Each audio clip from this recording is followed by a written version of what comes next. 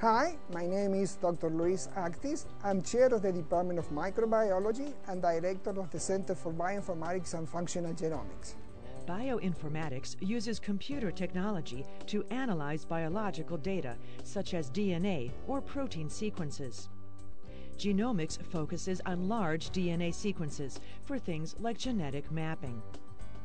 These exciting research fields have many practical applications, including DNA testing and disease diagnosis and treatment.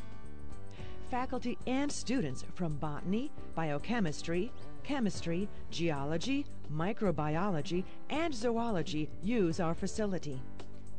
What sets us apart is that our undergraduate and graduate students perform most of the work that takes place here. We provide training and hands-on experience to any student, whether they are experienced researchers or conducting their very first research project. In fact, some local high school students have conducted their own genomic research projects at CBFG. The core activity of the center is to analyze DNA sequences. We have all the resources necessary to prepare high quality DNA samples and to analyze one sample at a time or hundreds of samples at once.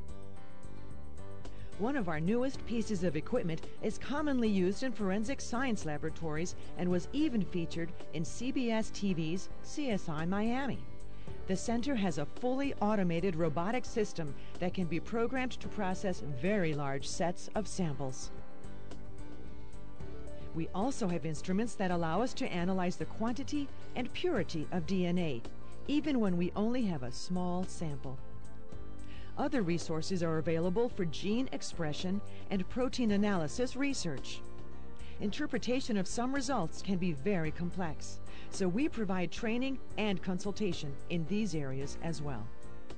This is a great Miami University center in which students, particularly undergrad students, have a unique opportunity to work together with faculty and researchers addressing very important and central biological issues using state-of-the-art technology, which is used all around the world.